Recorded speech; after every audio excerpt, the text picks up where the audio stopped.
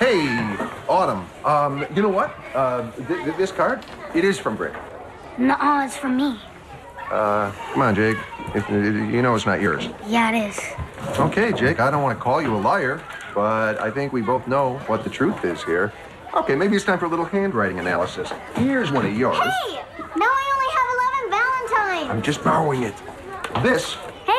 Well, Brick's Dad took one of No, mine. I have less Valentines. look, I'm going to give it back. Hang on. you on, can have one of mine, Heather. You like Heather? I thought you liked me. He does like me. Nobody likes me. Hey! Oh, all right. Oh, that's no- Because you know that. I'm stuck to my mailbox.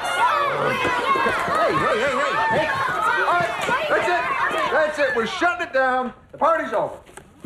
Here we go. You guys shouldn't be celebrating Valentine's Day anyway because it's a scam cooked up by the greeting card companies. You know what you should be doing? You should be studying because guess what they're doing in China right now? They are doing math and they're learning how to be CEOs of greeting card companies so they can sell us Americans